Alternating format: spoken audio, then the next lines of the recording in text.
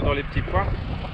Donc je suis passé il y a une semaine avec la RC Tri et comme on peut le voir, c'est un peu la catastrophe. Euh, là, la RC Tri ne fera plus rien du tout contre ça. C'est principalement des kénopodes, un peu de mourons. Donc là, je vais passer avec la roue rotative et je vais pouvoir euh, mettre la pression. Il faudra pas trop regarder derrière, sinon on va pleurer. Donc, je vais voir si on sait rattraper ça.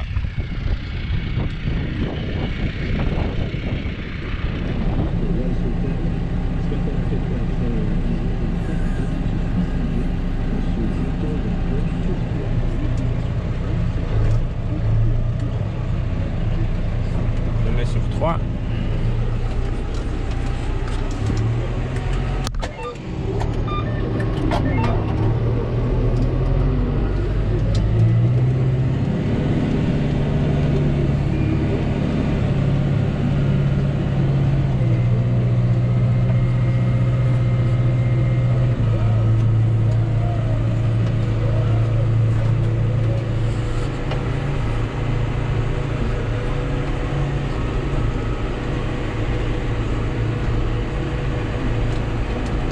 J'ai mis le point A un peu plus loin parce que là ça retourne donc juste avant je dois mettre le point B. Euh, pour l'instant ça a l'air pas mal, les points sont toujours là. Quand j'aurai fait le point B je m'arrêterai pour voir. Là, terminé. Voilà donc passage 5, c'est celui que je dois suivre.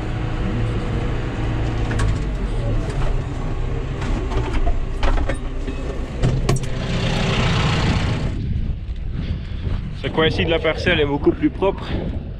Euh, je vois oh oui, de temps en temps une kénopode, quelques petits germes.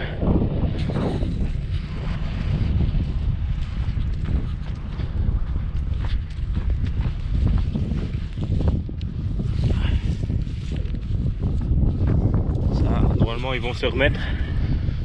Ils sont pas arrachés. Bien.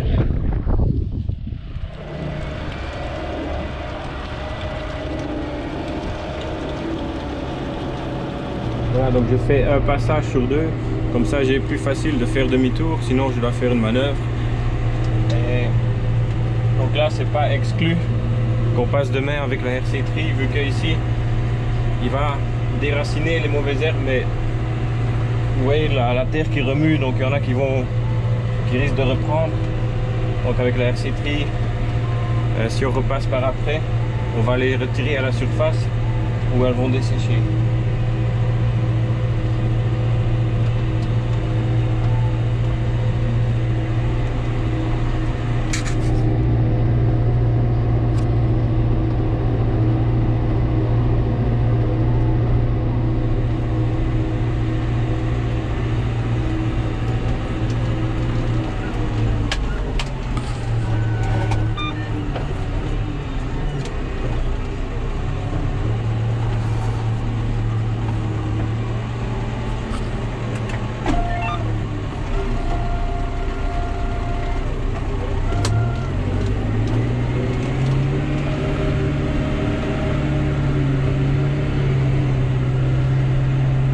Donc là, le GPS, il est un peu trop sensible. Donc, je, oui, le- donc, sensibilité d'acquisition, ça veut dire que il va être très nerveux au début de la ligne pour se mettre droit. Mais quand on va à vitesse haute, donc là je suis à 18 km/h, c'est pas pratique puisque il n'arrive pas à suivre. Donc je vais le mettre sur 100. Voilà.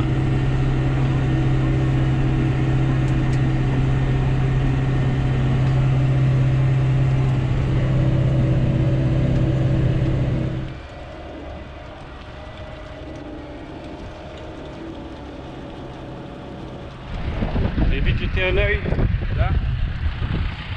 Ici je viens de passer.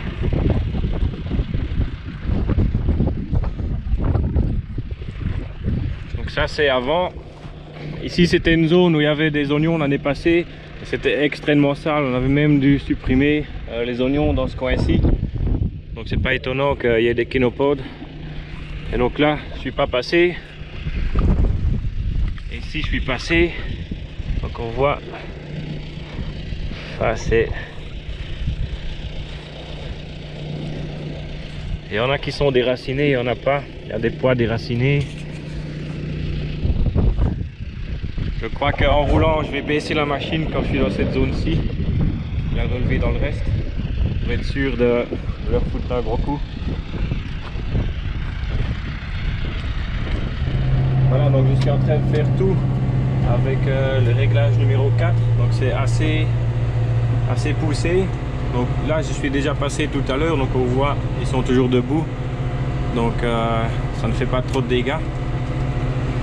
Et il faut savoir donc euh, ce qu'on voit surtout c'est les kénopodes. Mais les kénopodes, pour la récolte, ça pose pas de problème. Donc on ne risque pas de, de perdre la culture à cause de ça.